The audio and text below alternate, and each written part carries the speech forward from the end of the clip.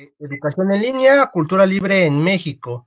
Eh, estamos aquí eh, presentes, nos acompaña el día de hoy la doctora Guadalupe Vadillo, el doctor Alberto Ramírez y la licenciada Diana Mirella.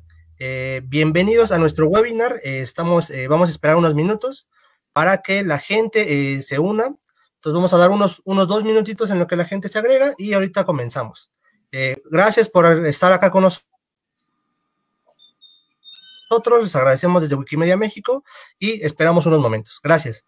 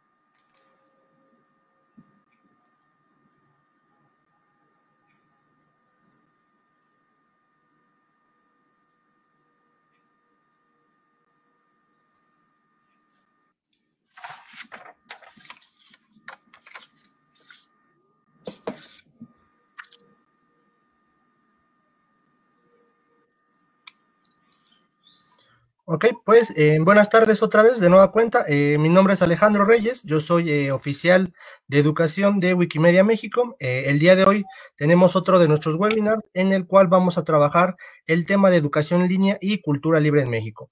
en esta ocasión nos acompañan, como ya les había comentado, la, doctora Guadalupe Vadillo, el doctor Alberto Ramírez y la licenciada Diana Urrutia.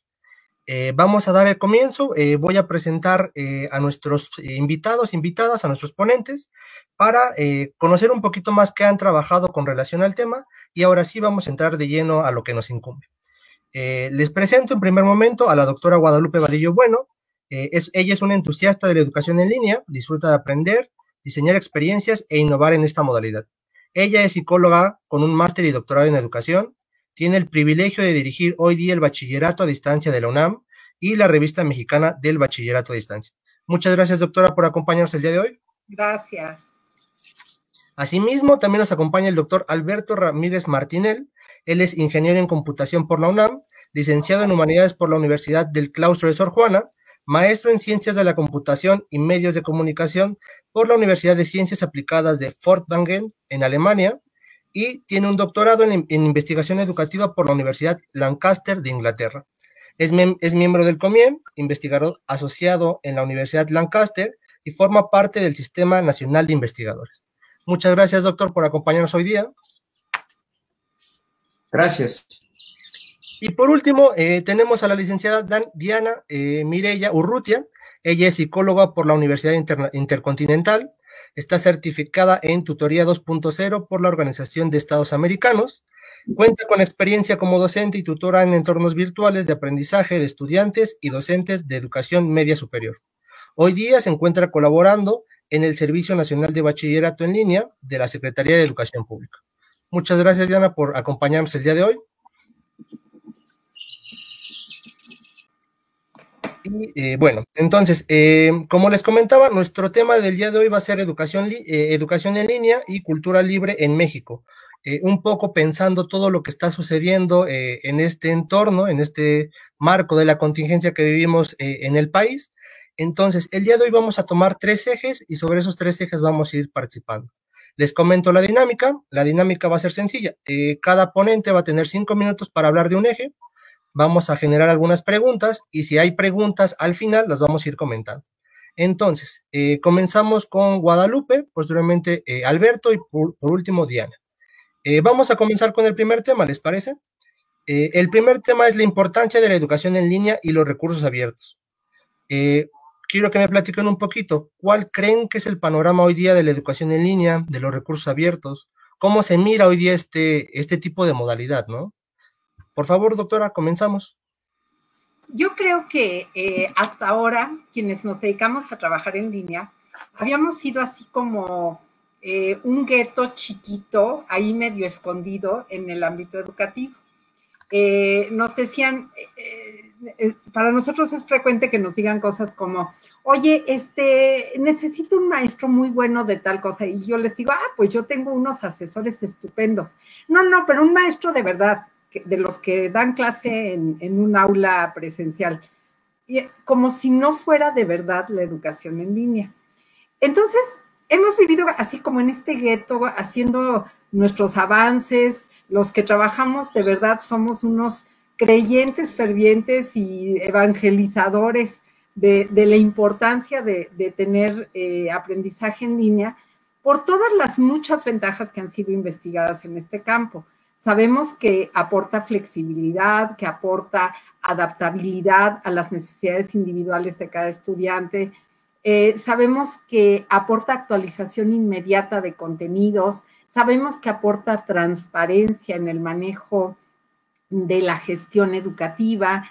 Eh, sabemos que aporta la posibilidad de que gente que nunca podría tener contacto con grandes especialistas, porque vive en un pueblito allí alejadísimo, en una ranchería, en fin, de repente tiene el privilegio de tener al mejor maestro de cualquier tema del mundo. Eh, si, contando con los sistemas de traducción y demás que eliminan también las barreras lingüísticas. Entonces, esas ventajas que todos conocemos, pues para nosotros que trabajamos en línea, son transparentes, son clarísimas, son nuestro día a día, pero para la gran cantidad de personas que nunca ha hecho un estudio formal en línea, son un misterio, son, son algo totalmente desconocido. Y en este sentido, eh, pues resulta que pasó lo que decía el mago Septién cuando hacía los, los eh, relatos de béisbol, que platicaba muchas veces de, ya sea peloteros, eh, sean pitchers, sean shortstops, quien ustedes quieran, entraron y de repente tuvieron la posibilidad de tener todas las luminarias encima por una desgracia de alguien más, porque alguien se lastimó, porque alguien tuvo un accidente para llegar al, estadio. Y entonces la gran figura, el gran pitcher, el gran primera base no estuvo disponible y de repente llaman a alguien de la banca. Y resulta que ese alguien es mejor todavía que el otro.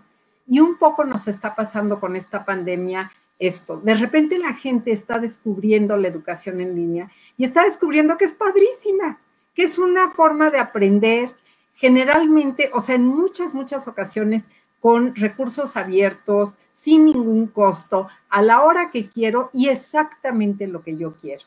Tenemos tal cantidad de oferta en el mundo que nos permite de verdad escoger muy bien, muy fácilmente. Por supuesto que igualito que sucede en la educación presencial, pues hay educación en línea muy buena, excelente, regular, mala y malísima. Entonces, lo importante aquí, igual que eh, cuando escogemos una escuela para nuestros hijos, pues es tener la precaución de ver qué, reputación tiene esa oferta en línea. Y eso nos da mucha idea eh, de si debemos o no debemos entrarle a esa en particular. Y ser igualmente críticos y duros y, decir, bueno, esta no la vuelvo a usar o por lo menos en este curso en específico no lo voy a recomendar. Y como tenemos tanta información del prestigio de cada programa, pues es bastante fácil saber eh, en línea si nos conviene o no nos conviene tomarlo. Así es que yo creo que es nuestra gran oportunidad de que todo el mundo se entere de las maravillas que implica la educación en línea, eh, el aprendizaje en línea y seguir adelante con, nuestro trabajo que era así como en secreto y de repente ya se hizo público y ahora somos los chicos populares de la cuadra. Totalmente de acuerdo, este, Guadalupe, muchas gracias. Este, y justo ahorita también eh, sería bueno ahorita que compartamos tanto Alberto como Diana un poco la perspectiva que tienen, pensar eso, ¿no? ¿Cómo fortalecemos este discurso, esta práctica, ¿no? Que está muy padre en la teoría porque se ha hablado mucho, se ha trabajado mucho, pero justo hoy día que estamos ya viviéndolo, ¿cómo podemos ponerlo ya en práctica y fortalecer este discurso, ¿no? Muchas gracias, eh, Guadalupe. Pasamos con el, el doctor Alberto, por favor. Bueno, buenos días a mis compañeros del panel y a las personas que están viendo en este momento el video, pero que también lo verán después. Y ese es uno de los puntos que quiero abordar, la asincronía de la educación en línea. Em, efectivamente, en este momento, que es inédito, pues em, nos volcamos a la educación en línea. Profesores con experiencia, profesores sin experiencia, alumnos conectados, alumnos desconectados. De repente todos estamos volcados a, la, internet, a estar trabajando de manera eh, pues organizada o no tanto las instituciones de educación media, las, educación, las instituciones de educación superior han visto en esta modalidad una oportunidad para continuar con las actividades de, docencia durante este, esta jornada nacional de sana distancia. Y para la reflexión, eh, quisiera comentar tres ejes de análisis que estamos eh, trabajando en la Universidad Veracruzana, donde soy profesor investigador. Primero viene el tema de la autonomía digital, que eso está relacionado con los recursos abiertos. Vamos a ver, está bien que haya software de videoconferencia eh, muy famoso y muy eh, estable. Está bien que haya plataformas eh, de aprendizaje que también sean muy útiles y famosas, pero es mejor en este momento y en general en, eh, pues en las decisiones que se toman en las instituciones de, educación, optar por los programas, por las plataformas, por el software de código abierto y de acceso libre. Porque eso te da una autonomía digital. Si de repente nos sube el precio, el proveedor del sistema, nosotros caemos en una, en una trampa, ¿no? Nos han enganchado y ahora no hay manera de salirnos. Sin embargo, si el software es libre o si es desarrollado en la propia institución, pues tenemos esa autonomía digital. Licencias como Creative Commons en el material que producimos o que eh, revisamos, recursos en algunos niveles educativos como la Wikipedia de acceso abierto, que puede ser socialmente construida, revisada, corregida y demás, eh, y, bueno, pues el software libre también como una herramienta para, para trabajar. El segundo eje de análisis es una comunidad activa. Hemos visto que hay profesores que se han, eh, pues, pues no sé, metido a cursos de capacitación, a MOOC, a, la oferta propia de las instituciones para estar ahora con la sensación de actividad. Y eso está bien, estamos capacitándonos. Hay otros eh, profesores que ya no necesitaban la capacitación y están ahora dando seguimiento a los estudiantes. Hay estudiantes que están tratando de resolver la conectividad, que están accediendo a sus cursos y hay otros que están desconectados y que nos está costando trabajo ubicar. Entonces necesitamos para esta experiencia eh, cuatro características en nuestros eh, nuestras comunidades educativas, que estén conectados, que sean competentes digitalmente, que sean resilientes y que sean tolerantes.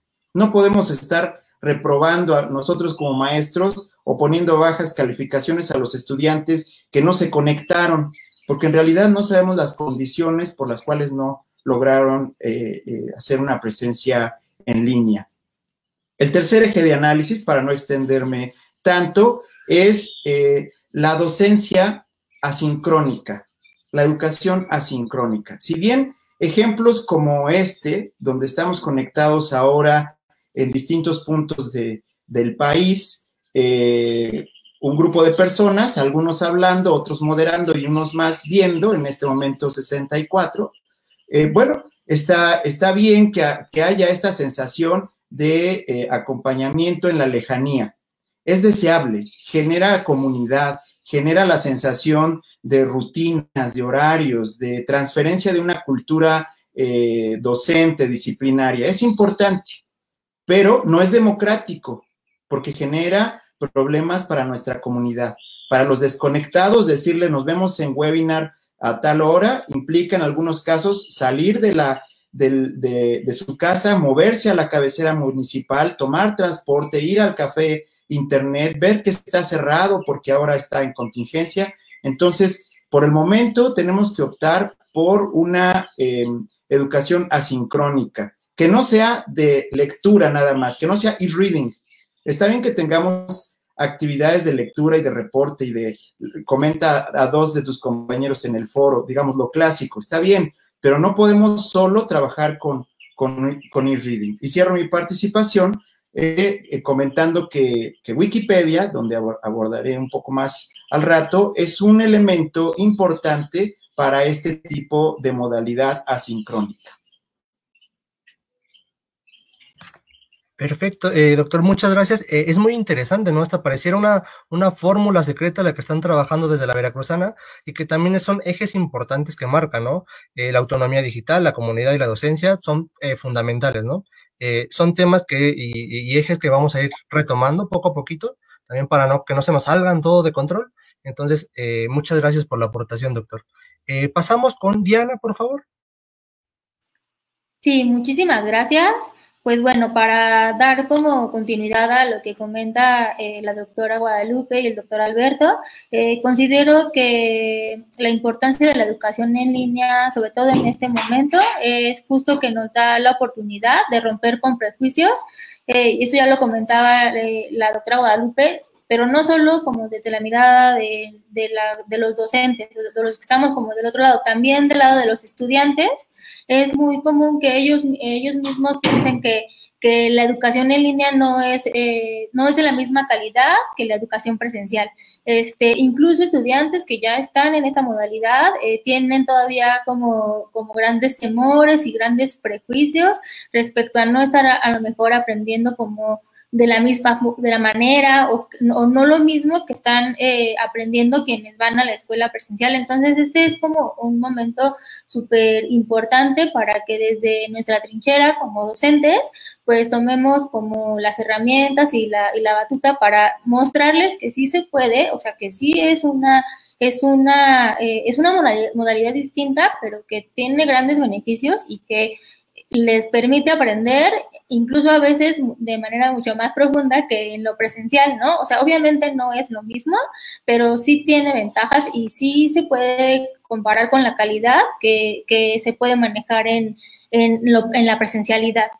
También, eh, justo eh, en las condiciones en las que nos encontramos por la contingencia, el mirar la educación en línea es eh, un es una manera de proteger a los estudiantes eh, porque pues finalmente estar como en, como en este encierro sí genera eh, situaciones de ansiedad, depresión, preocupación, entonces eh, se vuelve como un factor protector desde la, desde la comunidad de este escolar, brindarle estos espacios a los estudiantes para que continúen teniendo actividades y, y no a lo mejor actividades este, pues solo remediales, sino actividades como tal que parten de su, de su programa eh, del, que están, eh, del, que son parte. y bueno, también eh, la importancia de tener acceso a los recursos abiertos educativos, pues es primordial. sabemos quienes trabajamos en educación en línea que esta es una opción para estudiantes que no necesariamente están en la ciudad o, o que tienen eh, disponibilidad de tener una conexión en su casa, sino más bien son personas que a lo mejor en los lugares en donde están habitando no hay otras opciones. Entonces, eh, contar con recursos abiertos que les permitan eh, obtener conocimientos y construir su propio conocimiento es esencial. O sea, es a lo mejor la única forma que tienen ellos para poder adquirir este, la cultura, conocimientos, etcétera. Entonces creo que es un gran momento que tenemos actualmente para este, darle auge a nuestra educación en línea. Súper, muchas gracias, Yana. Eh, importante, ¿no? Algo que mencionas y que también es muy importante y que se refuerza con lo que estamos mencionando, es justo esta ruptura de paradigmas que nos encontramos hoy día, ¿no? Eh, nos encontramos frente a un nuevo mundo, porque es eh, al parecer un nuevo mundo el que estamos explorando, eh, y que también justo, ¿no? Este nuevo mundo implica una serie de factores que también tienen que ser considerados, ¿no? Un poco mencionan la conectividad que pueden llegar a tener o el acceso a las computadoras o otros factores que van justo acompañados de la mano, ¿no? Por eso hoy día también hablamos de educación en línea y los recursos abiertos, ¿no? ¿Qué otros recursos se pueden llegar a, complementar o aportar o eh, en algún momento a distribuir en su momento, ¿no? Que también va a ser muy relevante esto. Les hago una pregunta a los tres como para ir cerrando este eje. Eh, ¿Cómo creen o de qué manera podríamos fortalecer este discurso? Hablamos nosotros, eh, decía la doctora, como creyentes fieles de la educación, del aprendizaje en línea, ¿no? Porque somos personas que hemos trabajado constantemente. Pero yo les pregunto, ¿cómo fortaleceríamos esta idea en relación a todo lo que hemos hablado en este momento? La persona que guste. Bueno, creo que las condiciones que, estamos viviendo ahora en el mundo hacen que la educación en línea sea parte de una nueva normalidad. No vamos a llegar a la normalidad después de esto, después del 30 de abril, mayo o junio. No hay una, vuelta a la normalidad. Tenemos que hablar de una nueva normalidad. Y la nueva normalidad está compuesta de la virtualidad en la educación. Así como hemos visto en algunos espacios de información que el sistema de salud tiene oportunidades grandísimas y que no se aprovecharon y no se hicieron en su momento, ahora estamos viendo, sin tanto riesgo, que el, tema de la, educación también tiene una tarea pendiente y es la incorporación en serio de la virtualidad. Y la virtualidad será el signo de la nueva normalidad. Muy bien, gracias, doctor. Por favor, eh, doctora, por favor.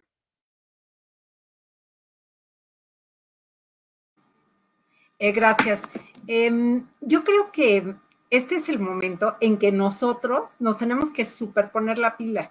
Es decir, sabemos de qué pies cojeamos, qué cosas son mejorables. Estamos teniendo mucha retroalimentación de nuestros estudiantes, de nuestros maestros, y tenemos que reaccionar muy rápido para resolver cosas a la velocidad de la luz y para que lo que estemos ofertando a estos nuevos estudiantes que por primera vez están teniendo la experiencia en línea sea verdaderamente espléndido.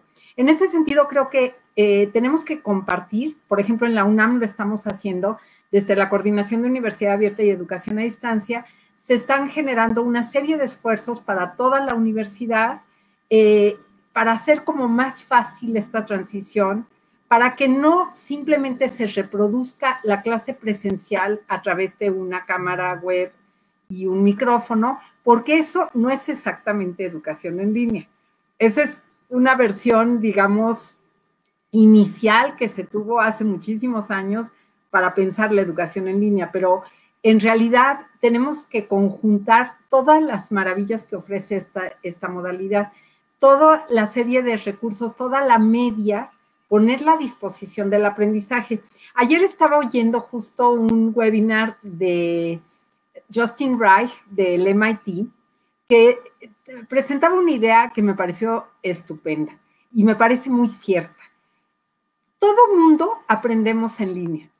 ¿Qué es lo que pasa? Estamos hablando de lo que sea y alguien en una discusión, en una cena, en una pachanga, dice algo y dice, ay no, yo eso no te lo creo. Y rápido se va a Wikipedia o a otra fuente, corrobora, discute, etcétera, y aprendió en línea. O sea, aprender en línea no tiene chiste. Todo mundo lo hace, todos los que tienen acceso, obviamente, todo el mundo lo hace todo el tiempo. ¿Cuántas veces nosotros, eh, si, si pudiéramos hacer como un conteo, les apuesto que son más de 20 veces que aprendemos porque buscamos algo o porque nos llega algo y nos interesa y le seguimos cada día. Entonces, aprender en línea no tiene chiste. El, chiste es educar en línea.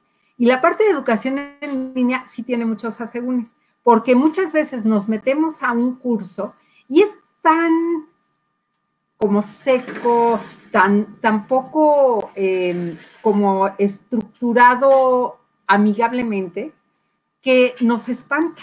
Y lo que acabamos haciendo es dejar eh, la opción y cancelarla, cancelar esa opción en línea. Entonces, creo que lo que tenemos que hacer es ponernos las pilas y hacer lo que necesitemos hacer para que sea una experiencia de aprendizaje cada vez maravillosa para cada estudiante.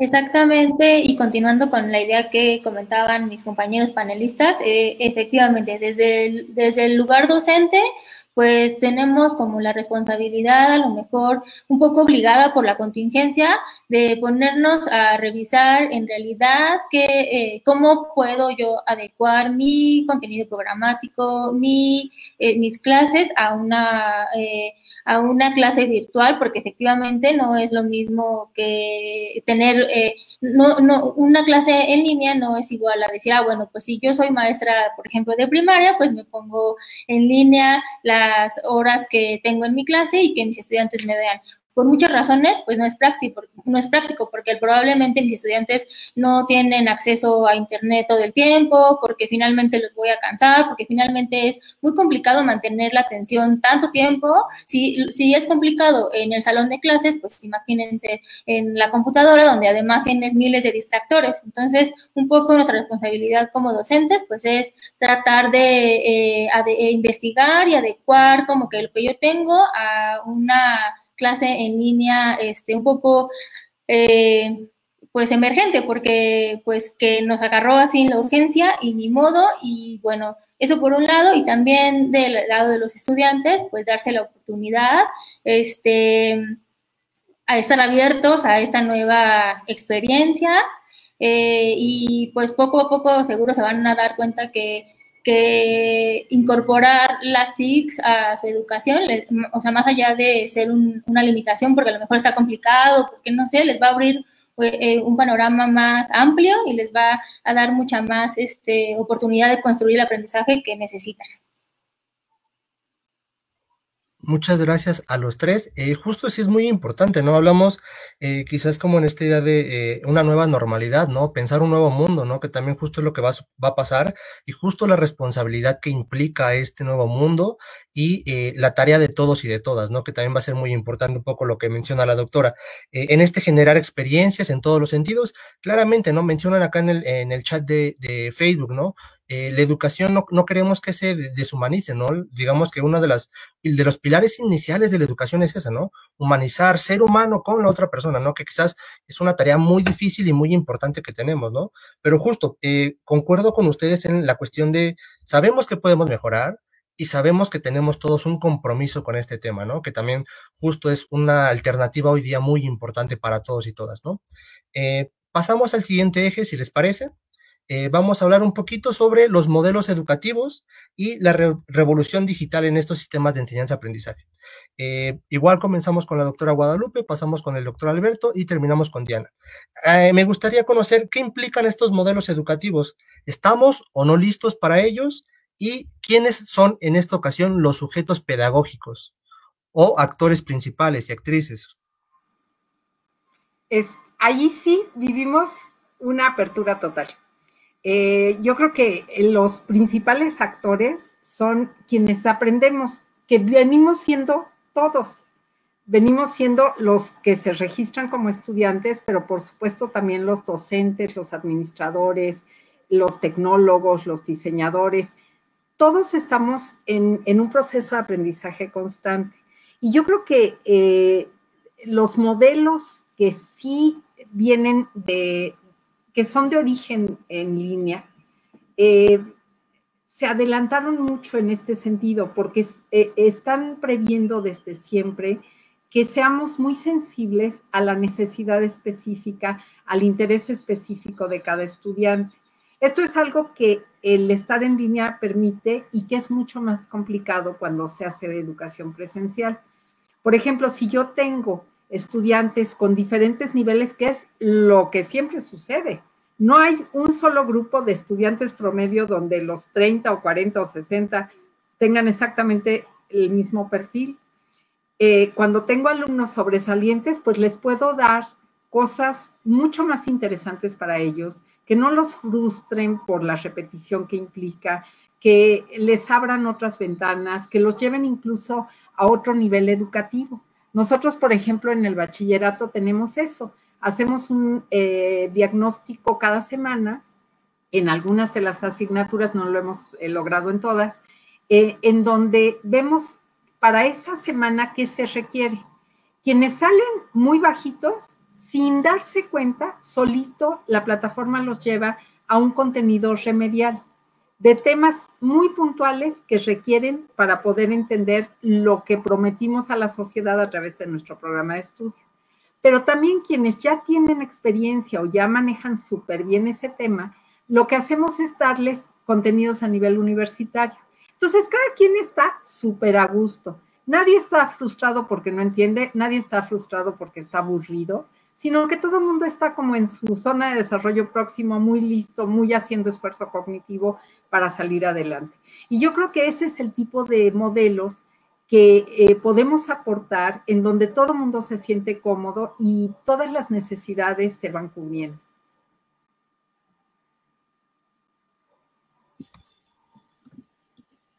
Bien, lo que yo propongo para esta intervención tiene que ver con el discurso anterior.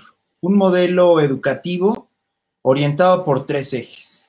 Por una autonomía digital, por una comunidad activa y basada en la asincronía. Con esos tres ejes de análisis, buscamos poder implementar un modelo educativo. Un modelo educativo que facilite el acceso, la equidad y la inclusión. Estamos hablando de democracia digital. Y como se dice en el reporte de Incheon de, de la UNESCO, no se habrá cumplido la política educativa hasta que todos se vean beneficiados de ella. Si alguno de nuestros estudiantes no tiene acceso a la red, entonces no hemos cumplido como institución de educación eh, media superior o superior. Eh, hace unos días la UNAM sacó el programa de Más Internet, donde puede conectar a miembros de su, comunidad a través de, apoyos y de concesiones de, acceso a Internet domiciliario. El reporte de, de 2019 de la encuesta nacional sobre disponibilidad y uso de tecnologías de información en los hogares de, de la INEGI, nada más voy a decir tres datos para no abrumar, Dice que de 110 millones de personas que contestaron la, encuesta, 75% tienen teléfono celular, 70% usan internet, 43% tienen computadora. Em, el paradigma que nos tocó vivir a nosotros como estudiantes hace 15, 20 más años o 10 o cinco quizá para el caso de los más jóvenes, e-, es distinto al que están viviendo nuestros estudiantes. Nosotros teníamos un equipo de escritorio que era parte de nuestra, pues de nuestro herramental educativo. Hoy hay 43% de computadoras en casa. Y si pensamos que hay dos niños por casa, entonces hay que dividir el uso de la computadora también. Eh, en el tema de los, de los hogares, 35 millones de hogares hay en el país 56% eh, está conectado a través de banda ancha, 44% eh, tienen una computadora sin internet. Esa es la realidad de nuestro país en el año pasado. 21 millones de hogares tienen computadoras sin internet, entonces, aunque el 92% sí tiene telefonía fija, sea 3% fija, 53 eh, celular o 36 ambas. O sea, sí están conectados. Si, hiciéramos caso de estos datos de la encuesta, estaríamos pensando en un modelo educativo prácticamente vía telefónica para poder eh, habilitar, digamos, si, si, el contexto es la educación y los recursos abiertos, tendría que ser vía telefónica. Vamos, no es, no es viable se ha hecho por televisión, eh, en la televisión educativa está haciendo un esfuerzo importante en el programa de Aprendes en Casa y ha sido también cuestionado. ¿Por qué? Porque hay dos polos, hay dos Méxicos, el que está hiperconectado, el que está usando eh, sistemas de videoconferencia de paga y internet de, de banda muy ancha, y el que apenas tiene que salir a la esquina para agarrar una rayita de, los datos, gastar 20 pesos y recibir el video todo pixelado y de mala calidad. Entonces tenemos dos o varios Méxicos en medio y eso no podemos ignorarlo. Entonces, en la medida en que seamos solidarios, podemos eh, considerar que esto está avanzando. Entonces, antes de instalar cualquier cosa, necesitamos un piso común en dos sentidos, en el de acceso y en el de saberes digitales. En el chat mencionan algo sobre competencias digitales, sobre ISTE, son sinónimos. Sí, en la Veracruzana tenemos la propuesta de los saberes digitales y creemos que hay un, esquema de saberes digitales mínimos para profesores, para estudiantes, para gente fuera del tema de la, educativo y eso es lo que tenemos que procurar como instituciones de educación superior. Justo el día de ayer, y con esto cierro la participación, eh, lanzamos, el, lunes empezamos con el MOOC de saberes digitales para docentes en la plataforma México X, un proyecto que ha sido exitoso, que diseñamos en la Veracruzana, que ofrecemos a través de Televisión Educativa México X y que este, em, en, este, en esta corte recibimos 18 mil profesores inscritos 18 mil estudiantes son más de los estudiantes que voy a tener de manera presencial en, tres vidas.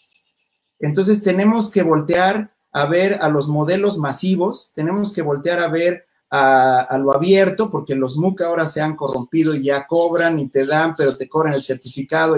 Tenemos que seguir apoyando un enfoque de acceso abierto, de software libre, de cultura abierta, de recursos educativos abiertos y sobre este piso común, acceso y saberes digitales transversales mínimos para la población estudiantil y el profesorado. Gracias, doctor. Y sí, eh, considero esa parte muy importante, ¿no? Este, hablar de los tantos Méxicos que existen en el mismo México en, cuestión de educación en línea y acceso, creo que también es muy importante, ¿no? Justo menciona, ¿no? Eh, creo que uno de los eh, factores importantes que tenemos que tener en consideración es este, ¿no? El, piso en común, ¿no? Acceso y saberes digitales, porque sí podremos estar quizás muy conectados, pero a la vez desconectados en algunos, en algunos sentidos, ¿no? Este, agradezco eh, la participación y, pasamos eh, con Diana, por favor. Sí, muchísimas gracias. Y bueno, para igual ir como que concretando lo que comentaban mis compañeros compañeros, no estoy de acuerdo en muchas cosas de, los que, de lo que comentan. Eh, considero que los sujetos pedagógicos, pues sí, somos todos, eh, pero pues eh, derivado de esta contingencia, pues sí que recae mucho también de la responsabilidad en en quienes enseñan, en los docentes y pues bueno, sí que nos ha permitido ver este momento que pues lo tradicional ya no ya no está funcionando o al menos no es adecuado para cumplir con las eh, necesidades que tenemos hoy en, eh, hoy, hoy en la pandemia, ¿no? Entonces, eh, creo que como que el modelo, más que un modelo, a lo mejor como algunos aspectos que tienen que considerarse como en este momento, es precisamente que, pues que estos quienes están eh, siendo docentes ahora a distancia, pues consideren lo que tienen sus estudiantes como en, como en su contexto eh, más cercano y aprovecharlo para que ellos puedan aprender. O sea, no podemos esperar que, que ellos tengan lo que tienen en el salón de clases. Entonces, un poco tener esa mirada. estoy eh, súper de acuerdo con esta cuestión de ver sobre todo como las, las ventajas de la educación en línea asíncrona, porque eh, justo eh, nos permite no saturar a los, estudiantes con que estén conectados todo el tiempo y que estén en el video, porque eh, precisamente no, no todos tienen la posibilidad, a lo mejor no porque no tengan en su caja internet, sino porque la banda no es suficiente, porque hay un equipo, solo un equipo que tiene que compartirse entre tres hermanos o más y además eh, también están ahora los papás eh, trabajando en las casas, ¿no? Entonces sí que se tienen que contemplar eh, ese, esos aspectos y pues pues nada, sobre todo como seguir enfatizando en que no esperamos que los docentes se conviertan en, asesores en línea o que su, o que su paradigma eh, cambie completamente y que entonces en algún punto lleguen a ser solo asesores, ¿no? Sino más bien que puedan tomar de los, de los elementos de, la educación a distancia lo que se requiere para poder responder a las necesidades de los estudiantes, que finalmente es para quienes estamos ahorita este, pues trabajando. Eh, gracias, Diana. Justo eh, me quedo con esto último, ¿no? Como eh, importante, ¿no? Que también la educación en línea todos los cursos que se están celebrando hoy día es eso, ¿no? Tomar los elementos que a nosotros como personas nos llenen, nos, nos, nutran, ¿no? quizás a mí me gustaría tomar un MOOC sobre gastronomía mexicana y es algo que yo voy a tomar de ahí, ¿no? Algunas cosas, quizás no todo.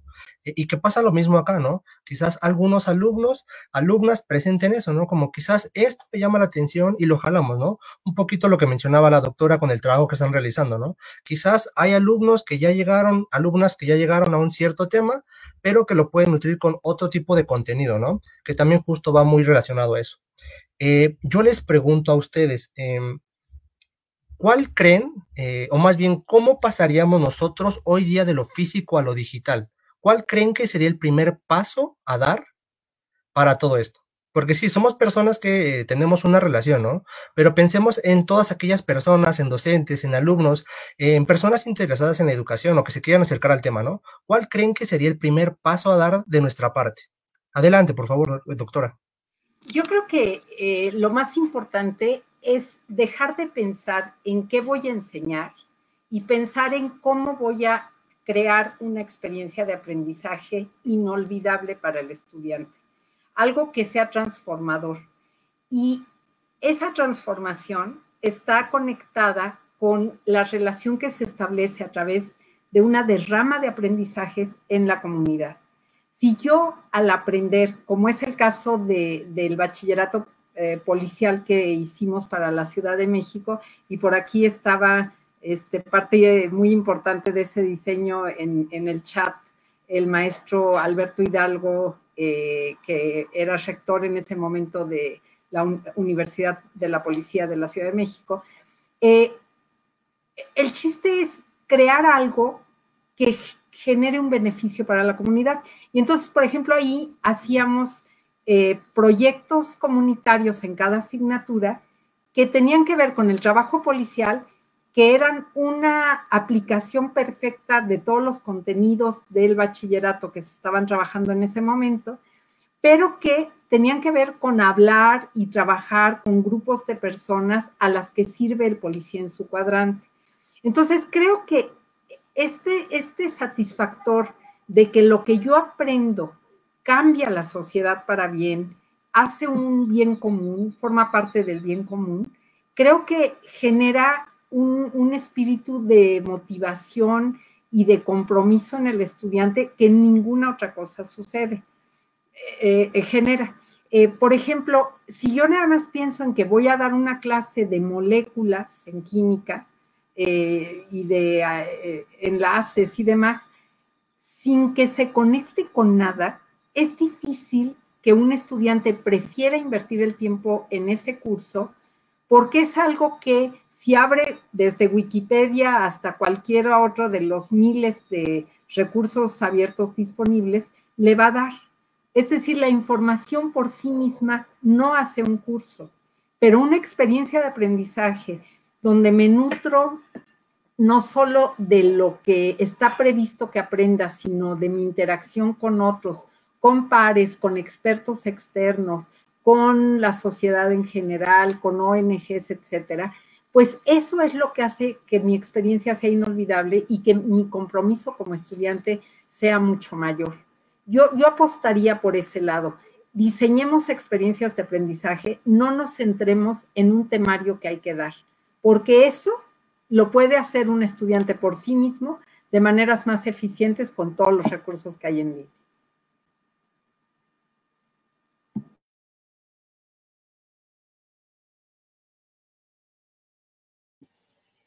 ¿Cuál es el paso que hay que dar? Yo creo que el contrario al que estamos pensando. Hay que ser disruptivos. Si lo que hacemos es traducir la modalidad presencial al contexto virtual, vamos a terminar dando clases en, Zoom eh, todos los días. Eso es incorrecto. No podemos hacer una traducción de lo presencial para generar los ritos, para generar las actividades que son propias de, lo, de la academia, del aula, ¿no? De esta de ver cómo llega el profesor, cómo se mueve, cómo se viste, cómo habla, cómo toma el GIS. Eso es propio del aula. No podemos recuperar eh, eso en la virtualidad. Entonces tenemos que pensar de otra forma. Tenemos que tener pensamientos tangenciales, disruptivos. Tenemos que pensar, decía en el chat, de, eh, procurar nuevas literacidades digitales, multimedia, audiovisuales.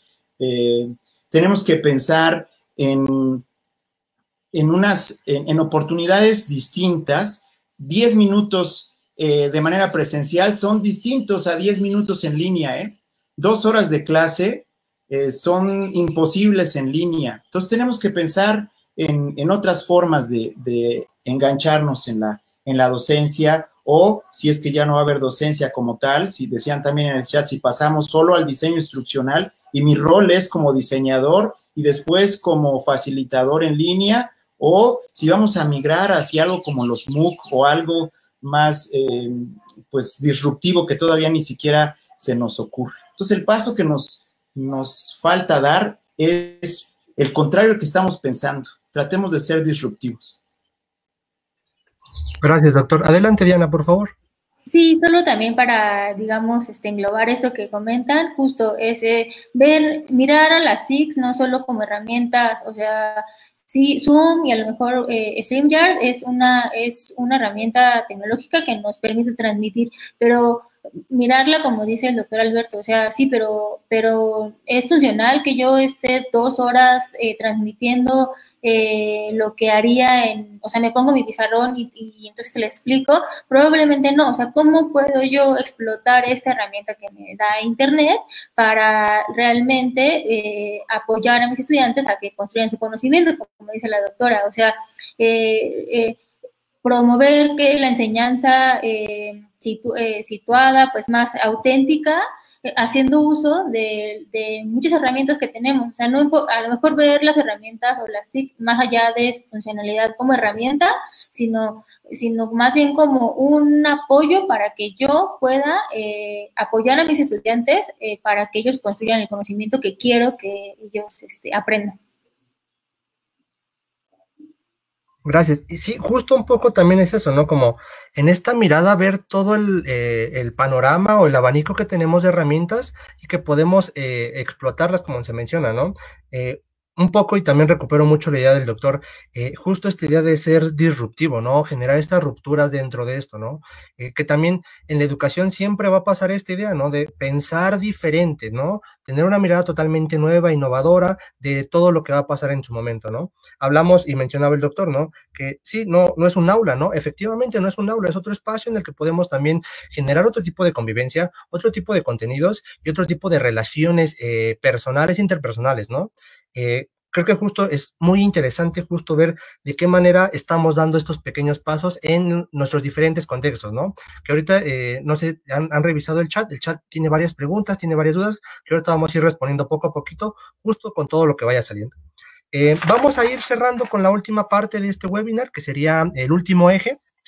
nuestro último eje vamos a hablar de cuál consideran que es el papel de Wikipedia y de los proyectos Wikimedia justo en la educación en línea. ¿De qué manera eh, podríamos enlazarlos o pensarlos justo en este momento? Eh, igual, comenzamos con la doctora, pasamos con el doctor Alberto y terminamos con la licenciada Diana. Gracias. Creo que son actores importantísimos del proceso educativo en línea. Em, me parece que parte del compromiso de los programas establecidos y de la oferta formal, digamos, tendría que ser eh, contribuir al prestigio de, y sobre todo de la validez de contenidos de Wikipedia y de eh, otros recursos de Wikimedia. Yo creo que, que, lo que tenemos que ver es que tenemos que editar y tenemos que contribuir a, a crecer el banco de recursos, pero también tenemos que usarlos y recomendarlos para ese análisis inicial, para ver qué bibliografía eh, anda en el medio, para, para muchas eh, actividades académicas debería de estar presente, ¿no? Wikipedia como se dice, está presente en la educación y es parte de la educación. Y creo que eh, aún hay prejuicios al respecto de usar recursos abiertos y tenemos que luchar contra esto, porque es la inteligencia colectiva la que está generando estos recursos y la que modula y genera mejores calidades en, dichos recursos. Entonces, eh, creo que es un protagonista absoluto el, el recurso abierto eh, creo que vamos para allá todos. Eh, antes nos hacía mucho, eh, pues mucha emoción, nos daba publicar algo en una editorial de esas que cobran muchísimo dinero por un libro, este, porque no había opción, pero en el momento en que ahora nos leen miles de personas en después de unas horas de haber lanzado un libro, pues verdaderamente es mucho más emocionante como decía Alberto, a mí también eh, eh, estoy haciendo como una, un monitoreo de cómo ha cambiado eh, el, el, MOOC en, en, estos días. Normalmente, por ejemplo, en mi MOOC de Coursera que se llama Aprender, tengo 750 nuevos estudiantes cada semana. Ahorita es 2.400, 2.500 por ahí cada semana. Es decir, estamos llegando a mucha más gente, tenemos la posibilidad de contribuir a que se generen aprendizajes, a que haya muchas más interacciones, a que gente que de verdad tenía una probabilidad cercana a cero de conocerse, de repente en un MOOC se conozca y haga eh, un proyecto y genere un cambio social y haga muchas cosas eh, simplemente por usar estos, estos recursos eh, que, que ojalá todos sean abiertos. Y lo mismo con libros, ¿no? Tenemos la posibilidad de compartir muchas cosas. Yo les voy a poner por aquí en el chat una, una liga, un recurso abierto sobre cómo hacer consejería en línea, que ahorita es muy útil porque muchos estudiantes se sienten muy agobiados, con muchas necesidades emocionales no resueltas eh, por el encierro, por el miedo que todos tenemos, por ¿no? La, inminencia de cambios y de ajustes en lo económico, en lo sanitario, etcétera. Entonces, creo que eh, todos tenemos la posibilidad de incidir en mucha gente, en, muchos proyectos muy benéficos para la sociedad. Gracias, doctora. Eh, una, nomás un, este, un detalle ahí. ¿Nos podría compartir la experiencia que he tenido con Wikipedia y con Wikimedia México? Sí, nosotros desde hace muchos años, desde prácticamente que surgió el, bachillerato a distancia de la UNAM, eh, tuvimos a través de la doctora Jackie Bucio, que es este, por su sangre eh, corre DNA de Wikipedia, nos compartió el entusiasmo por generar eh, editatones y por generar talleres, ¿no? En donde nuestros maestros se han ido pues acercando y han, tenido de primera mano la experiencia de editar, de conocer mucho más a fondo qué es Wikipedia, todas las enormes ventajas que tiene, eh, saber de toda la estructura interna que, posee, de todos estos bibliotecarios que son un ejército incansable y que si algo no está bien, eh, o lo bajan o lo mencionan para que se corrija de inmediato y están allí como muy al tanto, ¿no? Yo creo que esto es algo que solo cuando uno se acerca se da cuenta de la riqueza de Wikipedia. Entonces, este, nuestros maestros, nosotros tenemos alrededor de dos mil y tantos maestros formados, pues en general prácticamente todos conocen estas ventajas y lo han vivido. Entonces es algo que ha sido súper importante para nosotros y que nos compromete no solo con Wikipedia, sino con todos los recursos abiertos. Muchas gracias, doctora. Eh, ahora sí, doctor Alberto, por favor, nos comparte eh, eh, cuál cree que usted que es el papel que tiene Wikipedia y los proyectos Wikimedia hoy día en la educación en línea, como recurso abierto o como herramienta. Gracias, vamos a ver. Retomando el principio filosófico que planteó al principio de tres ejes, asincronía, comunidad y eh, autonomía universitaria. El uso de recursos educativos abiertos, de cultura abierta, de cultura libre, es transversal en todos ellos. El caso de Wikipedia es inédito. Es probablemente el proyecto eh, más importante de acceso a la cultura en la humanidad, en la historia de la humanidad. Wikipedia no tiene precedentes Es un, un proyecto em, disruptivo eh, que genera el cambio de pensamiento, que genera comunidad, que genera también pertenencia y que eh, ha superado las discusiones iniciales de si lo prohibimos o lo permitimos. Eh, creo que los profesores que hemos vivido esos em, dilemas, pasamos de, prohibirlo a corregirla. Me parece que ese es un cambio social importante, un cambio eh, del profesor 2.0, llamémoslo así, porque no podemos confiar en la estampita de Miguel Hidalgo con marquito azul y decir, esta es la tarea correcta, pero no confiar en el artículo de Miguel Hidalgo de la Wikipedia. Es un sinsentido. Vamos, Wikipedia depende del nivel educativo. En la universidad nosotros no permitimos el uso de Wikipedia por un, una razón, porque es una enciclopedia y porque el conocimiento enciclopédico lo hemos dejado atrás. No es porque sea Salvat o la Oxford o la Cambridge o la Wikipedia. El motivo es porque es una enciclopedia. Vamos, no la podemos usar de consulta, dice en el chat, como una consulta inicial, ahí sí, está bien, pero no la podemos citar como una fuente de primera mano porque no lo es, pero podemos engancharnos en otros proyectos sociales de suma importancia. Imagínate, si cada cuerpo académico de las instituciones de educación superior hiciera un artículo central sobre su quehacer, sobre su tema de investigación, estaríamos alimentando a la enciclopedia. ¿Qué tal si cada tesista de posgrado, al terminar su trabajo, hiciera un resumen enciclopédico de su hallazgo, de su revisión de literatura y la pusiera en línea para los usuarios de Wikipedia de otros niveles, sería también un muy buen avance.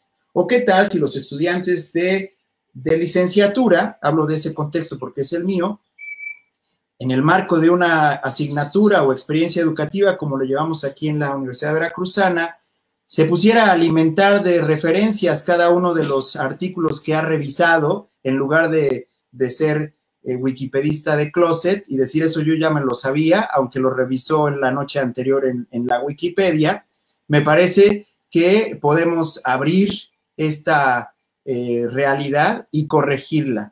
La función social de la universidad, al menos, es corregir, procurar y enriquecer la enciclopedia más grande y más importante del mundo, que es nuestra Wikipedia. En un sentido eh, adicional, la, Wikipedia es un ejemplo eh, también sin precedente del, del movimiento de cultura libre y abierto. Hay ejemplos contados y la Wikipedia es uno de ellos. Y tenemos que cuidarla, es patrimonio de la humanidad. El trabajo que hacen las chicas de Wikipedia México, las compañeras, es titánico. Lo que están haciendo es muy importante, moverse en este momento, organizar eh, eventos como el que está ahora eh, pues carrereándonos, Alejandro, desde correos, desde antes, desde ahora. Digo, lo que se está haciendo desde, desde la organización de Wikimedia es muy importante. Y yo diría que solamente hay ejemplos como ese en el software libre, en el licenciamiento flexible como es Creative Commons y en Wikipedia. Estos tres ejemplos son el epítome de la cultura libre y abierta.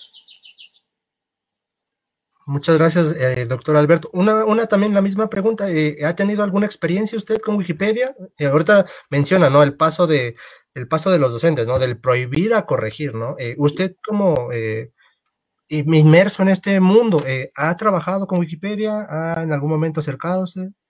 En, en lo personal, hemos creado nuevos artículos, hemos corregido otros dentro de, de la Wikipedia y a nivel institucional tuvimos dos momentos importantes, uno en 2013 y uno en 2016, cuando invitamos a los compañeros de, Wikimedia México a que vinieran a dar unas pláticas, porque la idea era crear una especie de subcapítulo V, siguiendo, por supuesto, los pasos de la, de la UNAM, del TEC de Monterrey y de otras instituciones que tienen muy bien instalado el proyecto de, de Wikipedia. Aquí eh, no, lo, no lo concretamos por distintos motivos. Hay esfuerzos eh, individuales importantes, eh, proyectos como evitar los jueves o, estar en contacto a través de, medios sociales, son a nivel personal y son más bien hacia afuera de la institución. Tenemos una tarea pendiente que es pues reconocer que lo que se hace en la Wikipedia es importante y que forma parte de la, pues, del quehacer académico de estudiantes y de profesores en las instituciones de, educativas en general. Muchas gracias, doctor Alberto. Eh, cerramos con Diana. Igual, Diana, eh, ¿cuál consideras tú que sería el papel hoy día de Wikipedia, de los proyectos Wikimedia en educación en línea, como recurso abierto, como herramienta?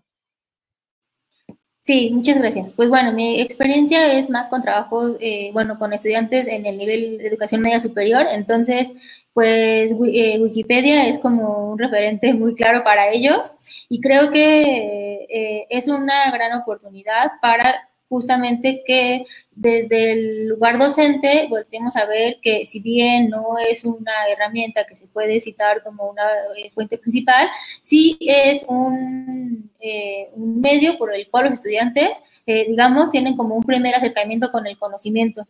Entonces tenemos que empezar a, a, a ver que es una fuente que, a la que ellos recurren esto por un lado, ¿no? Eh, hablando de, de, los estudiantes de bachillerato, pero también, y recuperando lo que comentaba al principio, eh, de los estudiantes que están en línea, también tenemos que considerar que, que muchos, muchos de los que eh, eligen la educación en línea es precisamente porque no tienen eh, a su alcance una institución, eh, no sé, una preparatoria que tenga una biblioteca o un sitio en, donde puedan consultar. Entonces, esto, es, este tipo de, sitios también son como que su primer acercamiento. Entonces, creo que eh, esta pandemia también nos da la oportunidad de de volver a, de, decirle a, los docentes que este es un es un primer acercamiento como bien decía el doctor o sea es como antes ibas a comprar la monografía o ibas a comprar la biografía bueno pues ahora los estudiantes lo primero que hacen es entrar al buscador y poner lo, que quieren investigar y generalmente lo que lo primero que sale es Wikipedia, ¿no? Entonces, creo que tenemos que nosotros mismos también ver la forma de aprovechar eso y este y, pues es, eh, es indispensable hoy que tengamos ese tipo de espacios.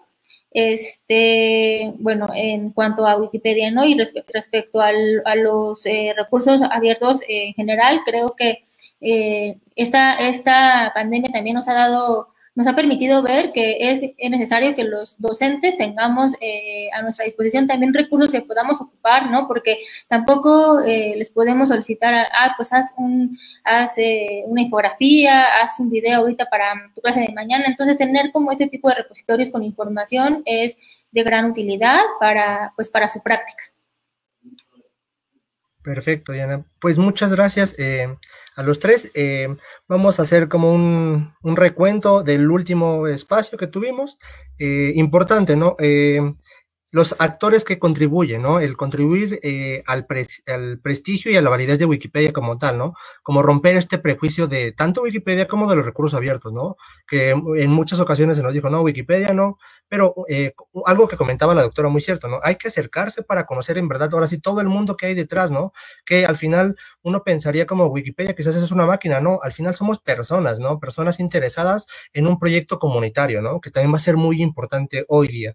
Eh, un poco lo que comenta el doctor, eh, son proyectos inéditos de acceso al conocimiento, ¿no? Y que es un conocimiento libre y que entre todos y todas podemos colaborar, ¿no? Solo es eh, un poco también acercarse, ¿no? Eh, en Wikipedia tenemos un pilar muy importante que se llama ser valiente, ¿no?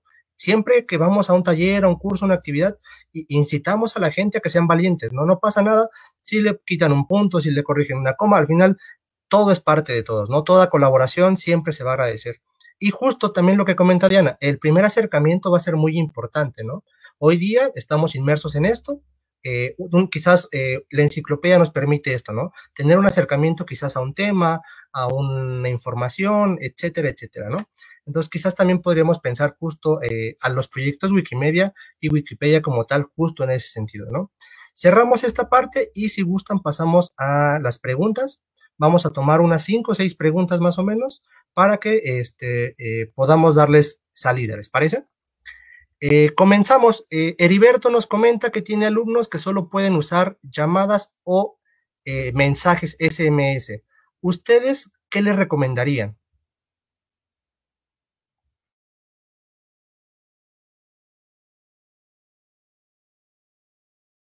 Sí, la persona que guste, adelante. No, aquí no hay, no hay, no hay orden alguno. No nos peleamos. para, para educación en línea es un poco complicado, pero eh, porque pues justo falta el componente en línea, ¿no? En, esa situación. Pero para hacer algún tipo de educación, creo que eh, a partir de la creatividad de los maestros, eh, hemos visto que, por ejemplo, el gobierno de México está haciendo el cuidado de los enfermos a través de SMS. Un cuestionario que es un poco latoso llenar, tarda uno varios minutos, pero finalmente eso permite una comunicación e ir modulando. Entonces, creo que se pueden establecer justamente como eh, hacer una actividad de aprendizaje en donde el estudiante eh, pueda, con lo disponible, con, eh, tendremos que, conocer al, estudiante y saber qué tiene a la mano en, como capital cultural en libros, en personas dentro de su casa, por ejemplo, si está aislado en, casa, eh, o a través de, eh, del teléfono, quiénes están disponibles para contestar dudas, para hacer entrevistas, etcétera. Entonces, creo que aún así hay maneras de, creativamente solucionar creando una experiencia de aprendizaje que se manda por una llamada telefónica o a través de un, de un mensaje de texto. Gracias, doctor. Adelante, doctor, por favor. Bueno, pues el tema es complicado, ¿no? Porque hace evidente la dependencia tecnológica.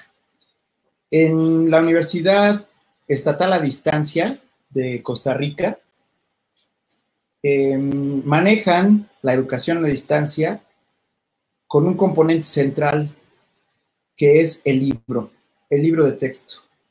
La Universidad Nacional, eh, la Universidad Estatal a Distancia, la UNED de Costa Rica, tiene la editorial más grande de Latinoamérica porque son los que publican libros de todas las asignaturas de las carreras que ofrecen. Y cuando tuve oportunidad de hablar con, los directivos de la universidad, yo con mi visión virtualizadora, casi evangelizadora, eh, les dije, ¿y por qué no migran hacia la virtualidad? Y la respuesta fue contundente, fue por democracia, por inclusión, por equidad, porque nuestros alumnos algunos, aunque sea un par, están en la cárcel. Son personas internas que están educándose, que están estudiando una carrera universitaria.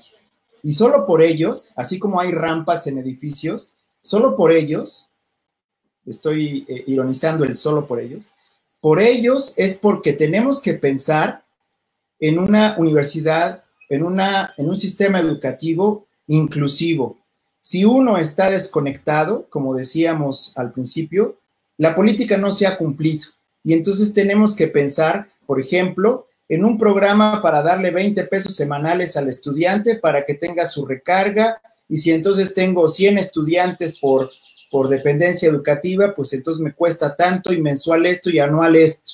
Pero dentro de mis becas, de mis, funda, de mis eh, fundaciones, de mis patronatos, de mis eh, eh, fondos para mejora, debo de considerar los 20 pesos de los datos de los estudiantes para descargar, por eso yo decía asincrónico, descargar instrucciones, trabajarlo en casa y subir instrucciones, aunque sea eh, en, en SMS, aunque sea con una foto de tu cuaderno, aunque sea con una actividad que, que, no necesariamente haga uso de toda la tecnología que tienes a la, a la mano. Con que hagas un apunte en tu cuaderno y le tomes foto y lo subas el día que tienes los datos abiertos, ese día pues tus profesores podrán asíncronamente interactuar contigo.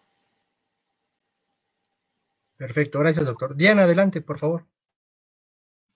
Sí, solo para complementar, y a lo mejor ahí también conviene un poco eh, revisar eh, los apoyos que tiene el estudiante en casa para el seguimiento, ¿no? Para, porque finalmente no tendrá alguien que lo retroalimente o que le diga como por dónde bien, por dónde mal, entonces a lo mejor sí que el docente haga como este, esa vinculación con, con las redes que tiene el propio estudiante en casa, si es que es posible que le, que le ayuden, eh, igual como considerando esta instrucción que comentaba el doctor y, y la maestra Guadalupe, y este que sea como trabajo asíncrono totalmente, pero que tenga el apoyo eh, de sus de sus padres o tutores en casa. Hacer como esa vinculación. Gracias, Diana. Adelante.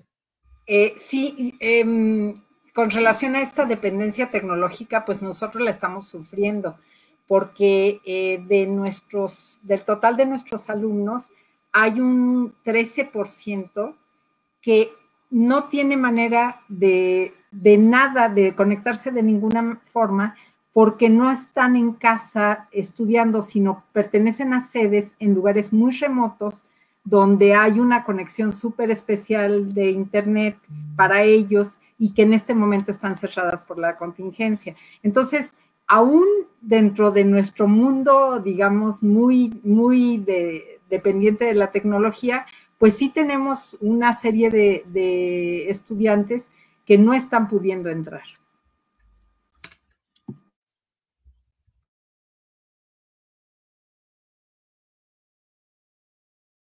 Acá preguntan, disculpen, eh, ¿qué recomendarían a los profesores que se inician en ambientes virtuales para diseñar estrategias, actividades y evaluaciones en línea? Bueno, lo que estamos haciendo en la Veracruzana es una serie de, guías, quizá triviales o básicas o muy iniciales, pero lo que buscamos es inspirar a los profesores a que eh, diseñen algunas actividades. Eh, el enfoque que hemos trabajado en el Centro de, Investigación e Innovación en Educación Superior, donde estoy adscrito, ha sido siempre el enfoque disciplinario. Eh, no es lo mismo enseñar a estudiantes de filosofía que enseñar a estudiantes de, biología. No es lo mismo enseñar a estudiantes de primaria que a estudiantes de, telebachillerato en línea que tienen cierta experiencia. Entonces lo que buscamos es diferenciar a, los, a las poblaciones y a través de, grupos de consulta, a través de comunidades de práctica, hemos convocado a profesores para que nos digan cómo redactan eh, una instrucción para estudiantes de quiropráctica o estudiantes de pedagogía o estudiantes de antropología histórica. Entonces, hemos eh, elaborado de, que inició la Jornada Nacional de Sana Distancia, el 21 de marzo al 4 de abril, elaboramos un catálogo con 170 actividades que está, por supuesto, en Creative Commons, está pues descargable y es eh, fácil encontrable en, la, en línea y, y, está pues para ir acompañando estos, estos procesos. Yo sugeriría que un profesor que quiere iniciarse en este tema, eh, digamos que quiere desarrollar eh, pues competencias de, diseño eh, de cursos en línea, se inscriba a un curso como alumno, que viva la, la experiencia en los zapatos de la persona a la que se va a dirigir. Un MOOC, por ejemplo, el que tienen desarrollado el equipo de la, maestra Guadalupe, el que tienen desarrollado en, otras instituciones, en los tecnológicos nacionales, los cursos de inglés, toda esta oferta de México X, por ejemplo, o de Coursera, con, cursos de también en otros idiomas, me parece que es, es bueno tomar un curso de cinco semanas, sentir la, la distancia, la soledad, la falta de, asesoría, de acompañamiento en la, en la lejanía, ¿no? Y eso me parece que es esencial para empezar. Y después, eh, y dado la situación que vivimos, formar parte de una comunidad de práctica para que los pares más avanzados hagan la transferencia del conocimiento en cómo le están haciendo ellos para hacer sus cursos. Eh, sería como la ruta que yo propondría. Adelante, Diana, por favor. Muchas gracias. Bueno, igual eh, eh, yo les sugeriría que se acercaran a las autoridades de las instituciones en las que trabajan. Por ejemplo, nosotros desde la Secretaría de Educación Pública, de, específicamente desde Prepa en estamos trabajando en equipo para eh, sacar un em, como, como un curso muy rápido para que los docentes de básica pues puedan como reconocer estas habilidades básicas para eh, empezar a implementar sus clases desde casa. Es un proyecto que se está trabajando, eh, digo, no les adelanto mucho porque también está apenas este, formándose, pero sí que se acerquen a las instituciones eh, con las cuales trabajan directamente, porque probablemente se están ya produciendo algunos recursos o algunos cursos o talleres que les van a funcionar y que de los cuales pueden tomar las herramientas.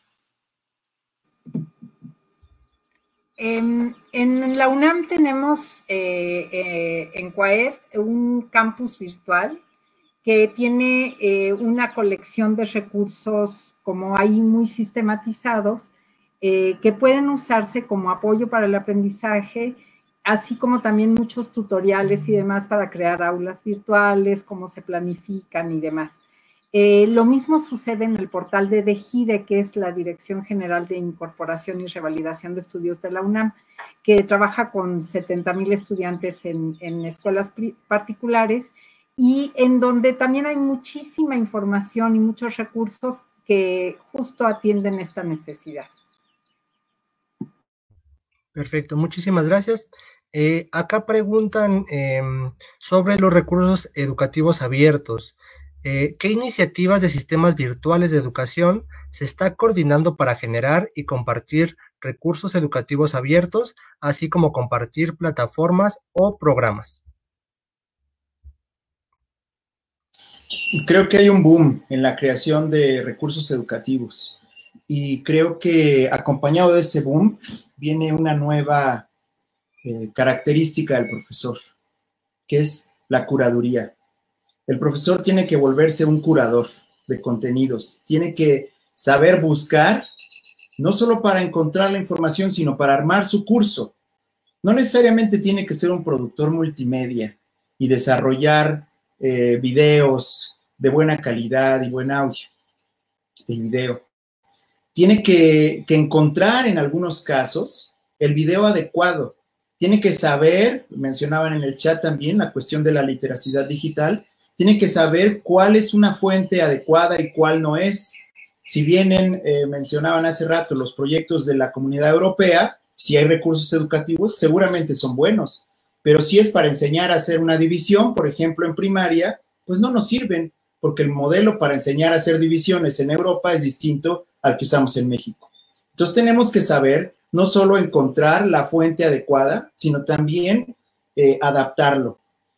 Entonces, esta idea de la curaduría digital de contenidos nos permite hacer búsquedas avanzadas, búsquedas académicas, búsquedas efectivas y acertadas para poder apuntar a nuestros estudiantes para que hagan uso de estos recursos educativos. Y una característica deseable, ojalá y todo fuera así, es que la licencia de uso fuera abierta y, flexible.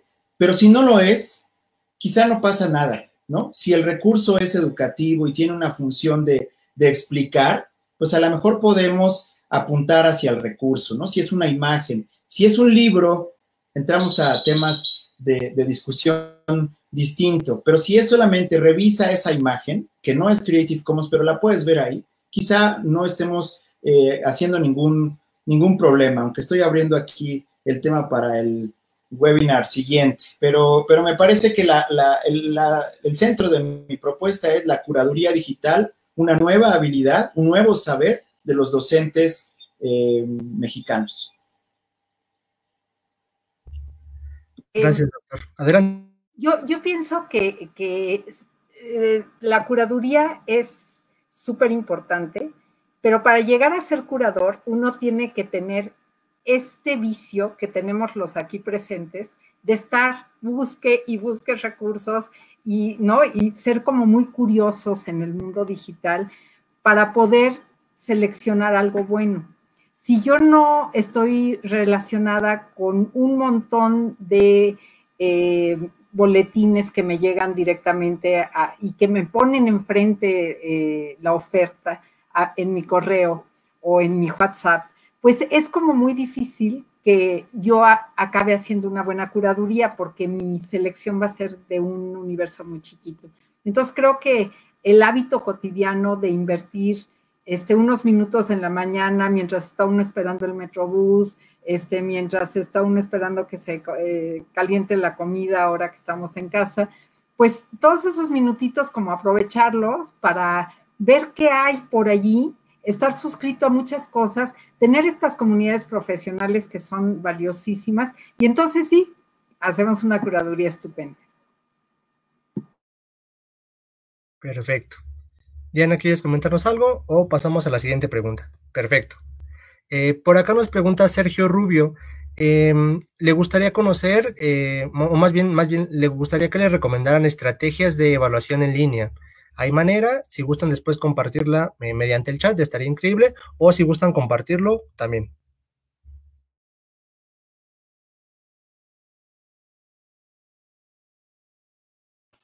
Pienso que más bien, más que estrategias, a lo mejor tendría que revisarse de entrada qué, qué es lo que está buscando eh, que, que los estudiantes construyan como aprendizaje y entonces ya ligarlo a la forma en la que lo va, le va a dar seguimiento.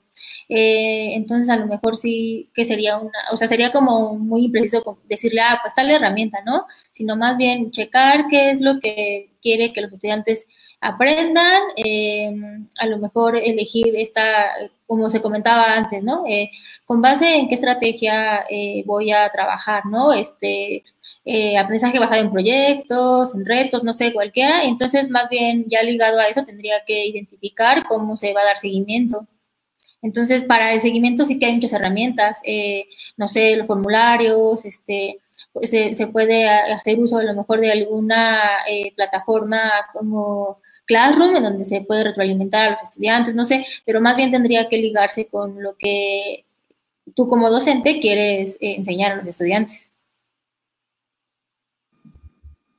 En, eh, en, la UNAM hace poco, el año pasado, se publicó un libro en este sentido, donde los maestros de CCH, eh, eh, Escuela Nacional Preparatoria y también del Bachillerato a Distancia, publicaron un, su mejor lección, unos presencial, pero hay muchas en línea. Entonces creo que es este, como una fuente de inspiración para que usando estos eh, instrumentos, estas herramientas que menciona Diana, eh, se puedan crear cosas extraordinarias, ¿no? Eh, haciendo uso a veces de más de un recurso para poder evaluar con mucha sensibilidad el desarrollo de los aprendizajes, ya sea en lo formativo o en lo sumativo. Perfecto. Em, otra pregunta que tenemos de este lado, eh, Luis Albaz nos pregunta, más eh, leo textualmente el comentario y ya sobre eso este, resolvemos la pregunta.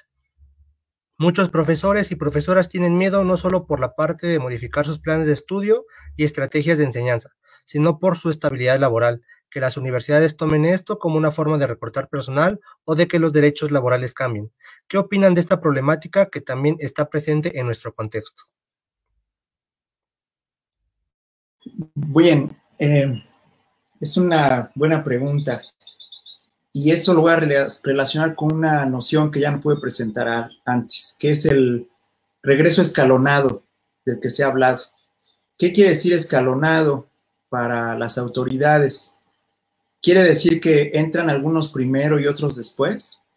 ¿O quiere decir que em,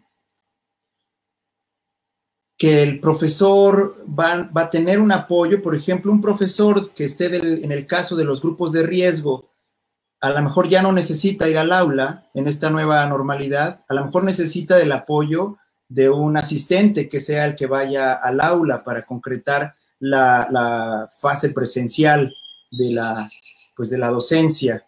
¿Será que el, este escala o este escalonamiento sea porque algunos de las oficinas van a ir los lunes, los miércoles y los viernes, o unos van a ir en la mañana y en la tarde, o, la docencia que antes tenía martes y jueves, ahora solamente la voy a tener martes presencial y, jueves virtual, o la teoría, la vamos, decía Iván hace rato, la teoría, preguntaba en el chat, eh, se dará de manera eh, virtual y la práctica, los laboratorios, se hará de, de forma presencial.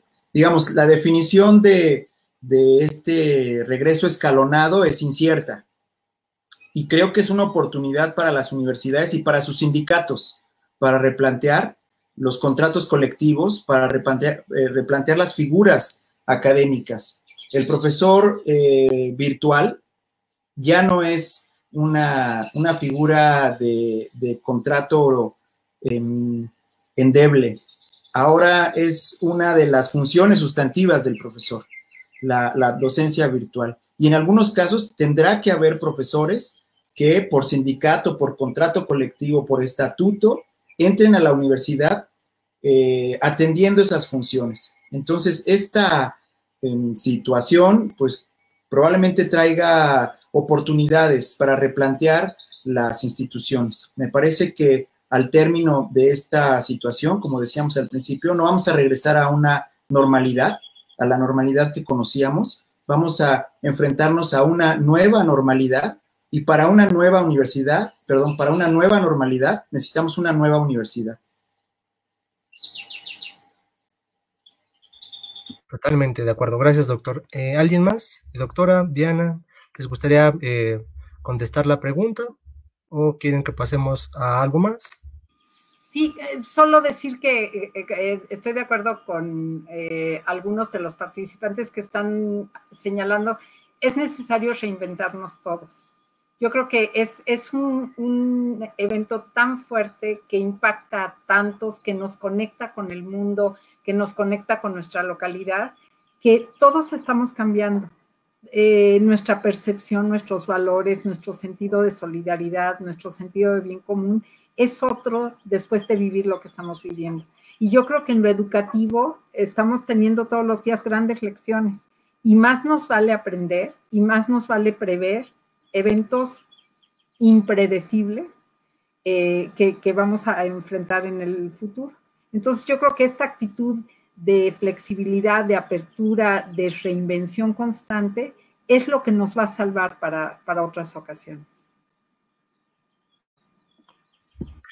Perfecto. Eh, sin duda es un, eh, fue un, webinar eh, muy enriquecedor de todo lo que surgió. igual mencionaba el doctor en algún momento, ¿no? Quizás habría temas que tendríamos que tocar en otro, en otro webinar, también para enfocarnos un poco más en esos temas y ir desenrayando todos los, los secretos que hay dentro de cada uno de los, de los temas, ¿no?